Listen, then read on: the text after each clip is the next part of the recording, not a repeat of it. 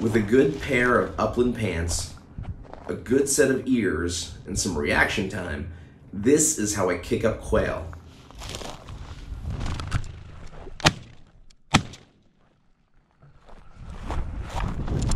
Here we go.